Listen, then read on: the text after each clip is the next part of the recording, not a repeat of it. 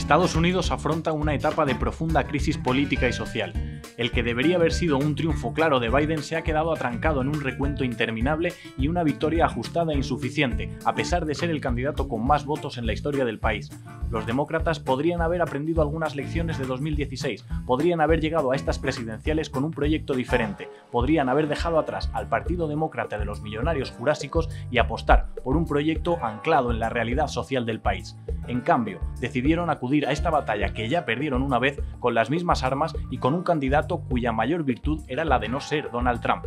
Pero para enfrentar al trumpismo no basta con no ser Trump, y a pesar de que Biden pueda ocupar ahora la casa la presidencia, la democracia estadounidense sale muy tocada de esta batalla electoral. Debe abrirse paso a un proyecto nítidamente antineoliberal, capaz de conquistar de nuevo a las clases trabajadoras, porque aunque el Diablo Naranja abandone la Casa Blanca, muchas de sus políticas continuarán vivas y las recetas de Biden no serán la solución.